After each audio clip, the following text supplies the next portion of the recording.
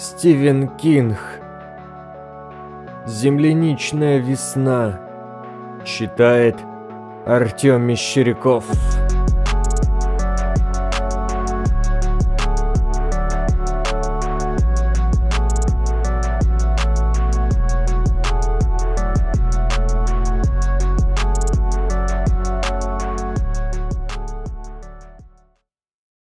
Попрыгунчик Джек. Утром эти два слова бросились мне в глаза, как только я раскрыл газету и, клянусь Господом, поразили меня до глубины души. Я словно перенесся на восемь лет назад. Однажды, аккурат в эти же дни, я увидел себя по национальному телевидению в программе «Уолтер Кронкайт Репорт». Лицо среди прочих за спиной репортера – но родители тут же засекли меня. Позвонили по межгороду. Отец потребовал анализа ситуации. Он принимал близко к сердцу общественные проблемы. Мать просто хотела, чтобы я вернулся домой. Но тогда я не хотел возвращаться. Меня зачаровали. Зачаровала темная, туманная, земляничная весна – зачаровала тень насильственной смерти, что бродила ночами восемь лет тому назад. Тень попрыгунчика Джека. В Новой Англии это природное явление называют земляничной весной. Говорят, приходит она раз в восемь или десять лет.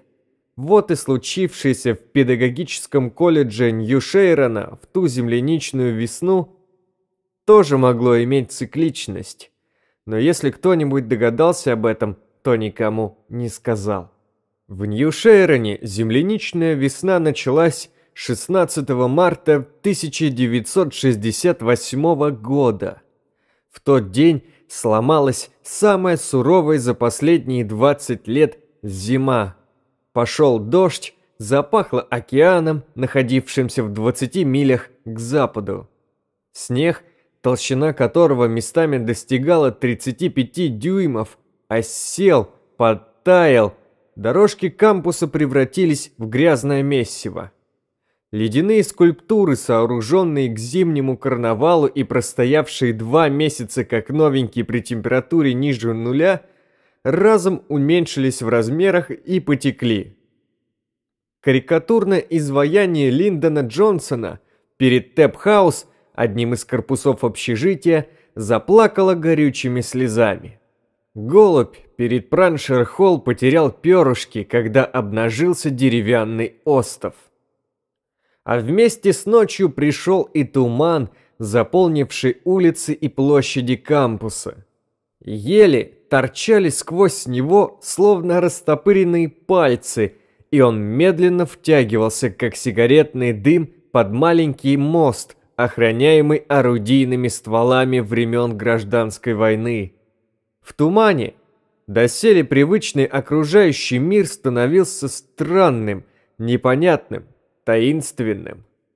Ничего не подозревающий путник выходил из залитого светом зубрилы, ожидая увидеть чистое звездное зимнее небо, раскинувшееся над снежной белизной. И внезапно попадал скрывающую все и вся молочную пелену, в которой слышались лишь шаги до журчания воды в ливневых канавах. Казалось, из тумана сейчас выйдут персонажи тех самых книг, которые ты изучал, а обернувшись, ты увидишь, что Зубрила исчез, уступив место панораме неведомой страны, в лесах и горах которой живут друиды, феи, волхвы. Музыкальный автоман в тот год играл «Любовь – это грусть», а также «Эй, Джей» снова и снова, и «Ярмарку в Скарборо». В тот вечер, в 10 минут 11 первокурсник Джон Дэнси, возвращаясь в общежитие, завопил в тумане, побросав книги на ноги и между ними мертвой девушки, лежавшей в углу автостоянки у биологического корпуса с перерезанным от уха до уха горлом и широко раскрытыми глазами, которые весело блестели, словно ей удалась лучшая в ее короткой жизни шутка. Дэнси кричал, кричал и кричал. Следующий день выдался мрачным. Облака висели над самой землей, и мы пришли на занятия с естественными вопросами. Кто, почему, когда его поймают, и, конечно же, самым волнующим из всех. Ты ее знал? Ты ее знал. Да, я занимался с ней в классе рисования. Да, мой приятель встречался с ней в прошлом семестре. Да, как-то раз она попросила у меня зажигалку в зубриле, сидела за соседним столиком. Да, да, я, да, да, о, да, я... Гейл Джерман, мы узнали о ней все. Она серьезно занималась живописью. Носила старомодные в тяжелой оправе очки, но фигурка была ничего. В кампусе ее любили, а соседки по общежитию ненавидели. На свидания ходила редко, хотя среди парней пользовалась успехом. Не красавица, но с шармом. Отличалась острым язычком, говорила много, улыбалась мало, успела забеременеть, болела лейкемией.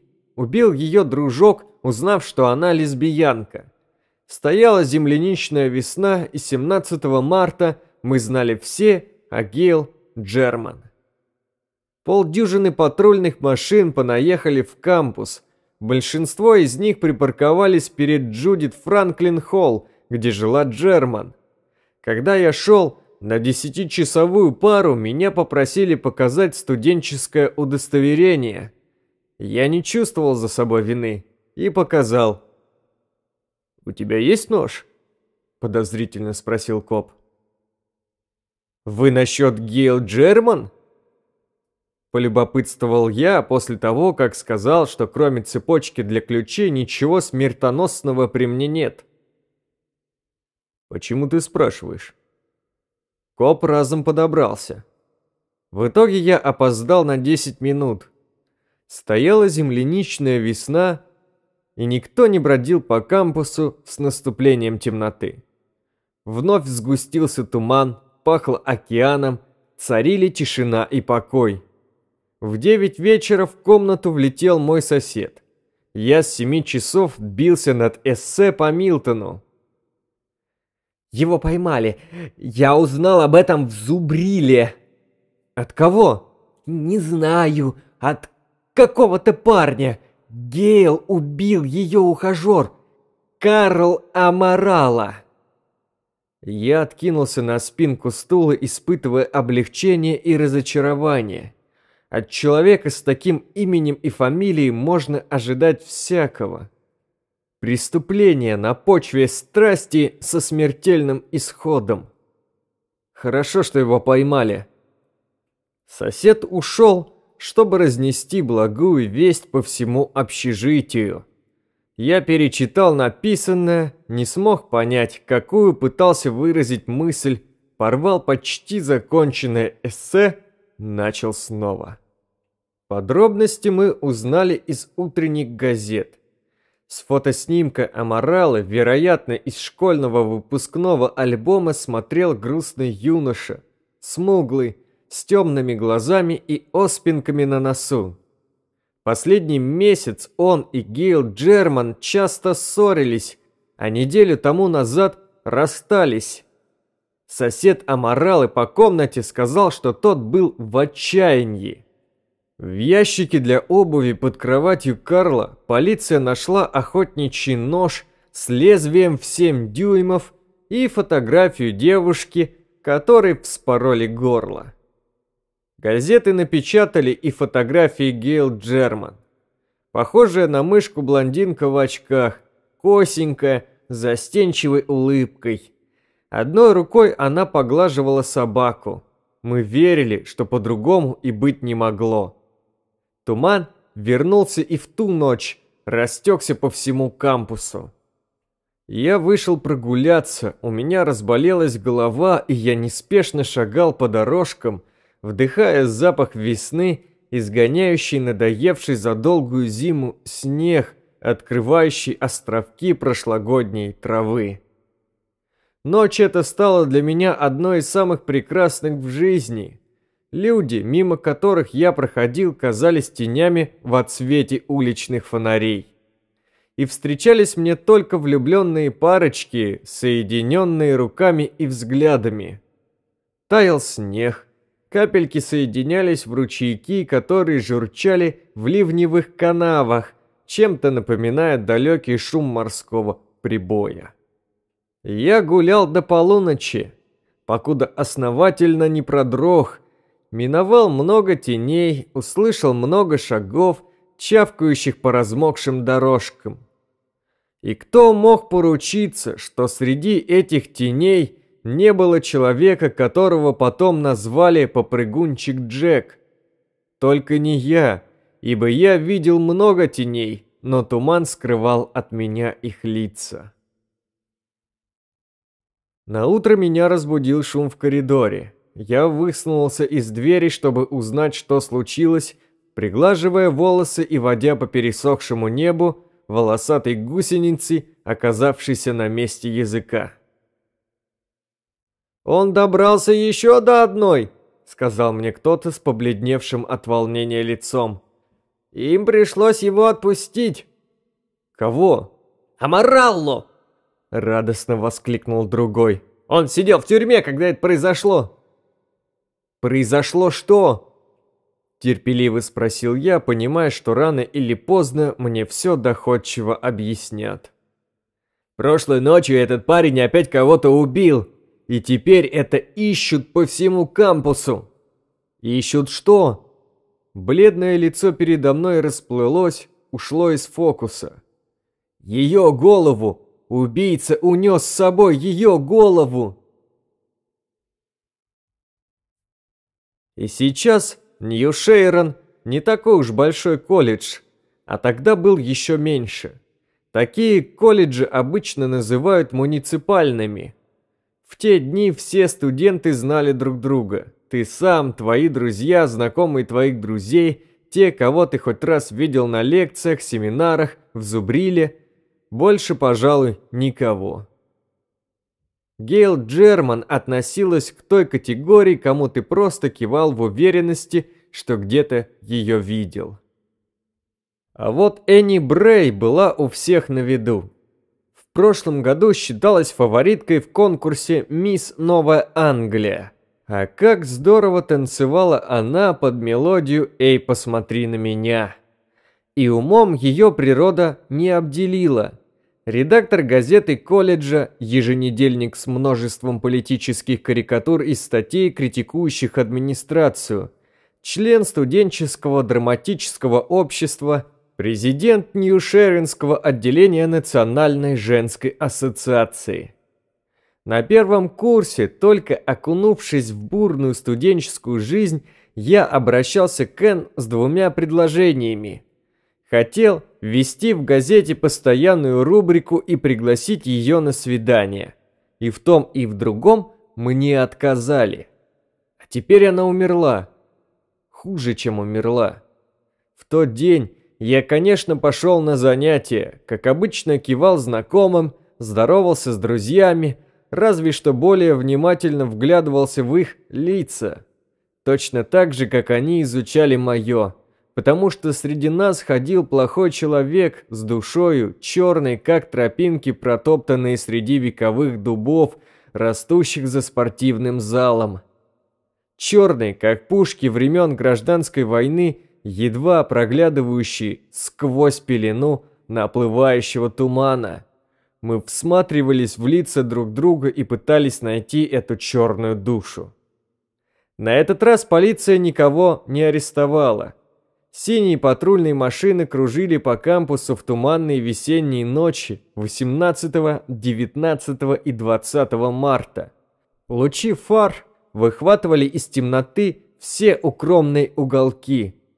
Руководство колледжа ввело комендантский час, запретив покидать общежитие после девяти вечера. Парочку, которую нашли обнимающиеся на скамейке в декоративной роще у Тейт Аламни Билдинг, отвезли в полицейский участок Нью-Шейрена и продержали в камере три часа. 20-го поднялась паника, когда на той же автостоянке, где убили Гейл Джерман, обнаружили лежащего без сознания студента. Перепугавшийся до смерти коп загрузил его на заднее сиденье патрульной машины, прикрыл лицо картой округу, даже не потрудившись прощупать пульс, и помчал в местную больницу. В тишине кампуса, включенная на полную мощность сирена ревела, как свор баньши. На полпути труп приподнялся и спросил, «Где это я?» Коп завизжал и съехал в кювет. Трупом оказался студент последнего курса Дональд Моррис. Последние два дня он провалялся в кровати с гриппом, вроде бы в тот год свирепствовал азиатский и потерял сознание, когда шел в зубрилу, чтобы выпить чашку горячего бульона и что-нибудь съесть. Погода стояла теплая и облачная, студенты собирались маленькими группами, разбегались, чтобы тут же собраться вновь, пусть и в другом составе. При пристальном взгляде на отдельные лица возникали самые невероятные мысли. Скорость, с которой слухи из одного конца кампуса достигали другого – приближалась к световой. Всеми любимого и уважаемого профессора истории видели под мостом, плачущим и смеющимся одновременно. Гейл Джерман успела кровью написать два слова на асфальте автостоянки. Оба убийства имели политическую подоплеку и совершили их активисты из антивоенной организации, протестующие против участия американцев во Вьетнамской войне. Последнюю версию подняли на смех. Нью-Шейронское отделение этой самой организации насчитывало лишь семь человек. Всех их прекрасно знали. Тогда патриоты внесли уточнение. Убийца – кто-то из приезжих агитаторов, состоящих в той же организации. Поэтому в эти хмурые теплые дни мы постоянно выискивали среди нас – незнакомые лица. Пресса, обычно любящая обобщение, поначалу проигнорировала удивительное сходство нашего убийцы с Джеком-потрошителем и начала рыть глубже, докопавшись аж до 1819 года. Один дотошный журналист из Нью-Гэмпшира вспомнил про некоего доктора Джона Хаукинса – который в те стародавние времена избавился от пяти своих жен, используя ему только ведомые медикаментозные средства. Но в итоге газеты вернулись к Джеку, заменив потрошителя на попрыгунщика. Энн Брей нашли на пропитанной влагой земле в 12 футах от ближайшей дорожки, но полиция не обнаружила ни единого следа, ни жертвы, ни убийцы. Эти 12 футов мог преодолеть только попрыгунчик. 21-го зарядил дождь, превратив кампус в болото. Полиция объявила, что на поиски убийцы брошены 20 детективов в штатском, мужчин и женщин, и снял с дежурства половину патрульных машин. Студенческая газета откликнулась яростной статьей протеста. Автор утверждал, что при таком количестве переодетых копов невозможно выявить засланных активистов антивоенного движения. Спустились сумерки, а с ними и туман немедленно поплыл по обсаженным деревьями авеню, проглатывая одно здание за другим. Мягкий, невесомый, но одновременно будоражащий, пугающий. В том, что попрыгунчик Джек – мужчина – Сомнений ни у кого не было. Но Туман, его союзник, представлялся мне женщиной. И наш маленький колледж очутился между ними, слившимся в безумном объятии. То был союз, замешанный на крови. Я сидел у окна, курил, смотрел на загорающиеся фонари и гадал, когда же все это закончится. Вошел мой сосед по комнате, прикрыл за собой дверь. «Скоро пойдет снег», — объявил он. Я повернулся воззарился на него. «Об этом передали по радио?» «Нет. Кому нужен прогноз погоды? Ты когда-нибудь слышал о земляничной весне?» «Возможно. Очень давно. Бабушкины сказки, не так ли?» Он подошел ко мне, всмотрелся в темноту за окном. «Земляничная весна, что индейское лето, только случается гораздо реже. Хорошее индейское лето повторяется каждые 2-3 года. А вот такая погода, как сейчас, бывает один раз за 8 или 10 лет. Фальшивая весна, ложная весна, точно так же, как индейское лето, ложное лето.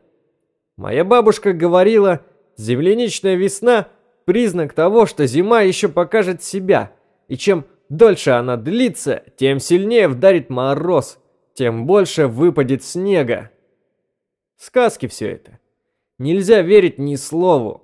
Я пристально смотрел на него. Но я нервничаю, а ты? Он снисходительно усмехнулся, стрельнул сигарету из вскрытой пачки, что лежал на подоконнике. «Я подозреваю всех, кроме себя и тебя!» Усмешка завяла. «А иногда возникают сомнения и в отношении тебя!» Не хочешь пойти поиграть в кегли? Готов поставить десятку. На следующей неделе контрольная по тригонометрии. Надо позаниматься, иначе не напишу. Однако и после того, как он ушел, я долго смотрел в окно. И даже раскрыв книжку, не мог полностью сосредоточиться на синусах и косинусах. Какая-то часть меня бродила во тьме, где затаилось зло тот вечер убили Адель Паркинс. Шесть полицейских машин и 17 выдающих себя за студентов-детективов, среди них восемь женщин, прибывших из Бостона, патрулировали кампус. Но попрыгунчик Джек, тем не менее, сумел ее убить, развеяв последние сомнения в том, что он один из нас. Фальшивая весна, ложная весна помогала ему, укрывала его. Он убил Адель и оставил ее в додже выпуска 1964 года. Там девушку и нашли следующим утром. Часть на переднем сиденье, часть на заднем, остальное в багажнике. А на ветровом стекле он написал ее кровью. Это уже факт, не слухи. Два слова. Ха-ха кампусе у всех слегка поехала крыша. Мы знали и не знали Адель Паркинс, одну из тех незаметных, но шустрых женщин, без устали сновавших взад-вперед по зубрили от 6 до 11 вечера, обслуживая охочих до гамбургеров студентов. Должно быть, только в три последних туманных вечера она смогла хоть немного перевести дух. Комендантский час – соблюдался неукоснительно, и после девяти в Зубрилу заглядывали только копы да технический персонал колледжа. Последние пребывали в превосходном настроении. Студенты не докучали им по вечерам. Добавить к этому практически нечего. Полиция билась в истерике, не находя ни малейшей зацепки. В конце концов, они арестовали выпускника-гомосексуалиста – Хансона Грея, который заявил, что не может вспомнить, где провел последние вечера. Его обвинили в убийствах, но на утро отпустили после последней ночи земляничной весны, которая также не обошлась без жертвы. На набережной убили Маршу Карен. Почему она пришла туда, что делала, так и осталось тайной. Эта толстуха жила в городе, в квартире, которую снимала вместе с еще тремя студентками. Она незаметно проскользнула в кампус так же легко, как и попрыгунчик. Что привело ее туда? Может, некое чувство, перед которым она не могла устоять, или темная ночь, теплый туман, запах океана. Но нарвалась на холодный нож. Произошло это 23-го. А днем позже президент колледжа объявил, что весенние каникулы сдвинуты на неделю, и мы разлетелись в разные стороны без радости, как овцы перед надвигающейся угрозой, оставив кампус на попечение полиции. Мой автомобиль стоял на кампусной стоянке. Я усадил в кабину шестерых. Поездка никому не доставила удовольствия. Каждый из нас понимал, что попрыгунчик Джек, возможно, сидит рядом. В ту ночь температура упала на 15 градусов. Хлынувший на север Новой Англии дождь быстро перешел в снег. У многих стариков прихватило сердце, а потом, словно по мановению волшебной палочки, пришел апрель. С дневными ливнями и звездными ночами. Одному богу известно, почему этот каприз природы назвали земляничной весной, но повторяется он раз в 8 или 10 лет и является собой зло. Попрыгунчик Джек исчез вместе с туманом, и к июню кампус волновали лишь демонстрации протеста против призыва в армию и сидячей забастовки в помещении, которое фирма, известный производитель напалма, использовала для собеседований со студентами. В июне о попрыгунчике Джеки больше не говорили, во всяком случае вслух. Подозреваю, многие частенько оглядывались из опасения, а не подкрадывается ли он сзади – но ни с кем не делились своими страхами. В тот год я защитил диплом, а в следующем женился. Получил хорошую работу в местном издательстве. В 1971 году у нас родился ребенок, и скоро ему идти в школу. Красивый, умный мальчик с моими глазами и ее ртом. И вот сегодняшняя газета – Разумеется, я знал, о чем в ней напишут.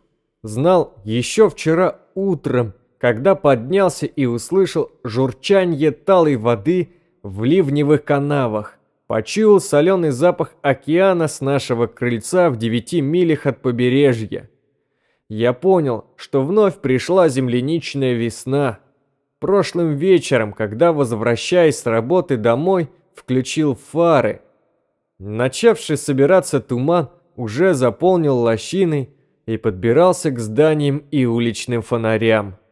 В утренней газете написали о девушке, убитой в кампусе Нью-Шейронского колледжа неподалеку от моста с орудийными стволами времен Гражданской войны. Ее убили ночью и нашли на подтаявшем снегу. Нашли не целиком. Моя жена расстроена. Она хочет знать, где я был прошлым вечером. Я не могу сказать ей, потому что не помню. Я помню, как поехал с работы домой. Я помню, как включил фары, чтобы найти путь сквозь туман. Но это все, что сохранила моя память. Я думаю о туманном вечере, когда у меня разболелась голова, и я пошел прогуляться среди безликих теней. Я думаю о багажнике моего автомобиля. Какое ужасное это слово «багажник» и задаюсь вопросом, почему я боюсь его открыть. Я пишу за столом и слышу, как в соседней комнате плачет моя жена. Она думает, что прошлой ночью я был с другой женщиной. И, о господи, я опасаюсь того же.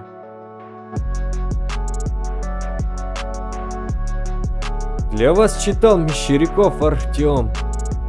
Я надеюсь, вам понравилось путешествовать в мир Стивена Кинга. Подпишитесь, пожалуйста, на канал, поставьте лайк, напишите комментарий, нажмите на колокольчик для того, чтобы уведомления о свежих аудиокнигах приходили вам первыми.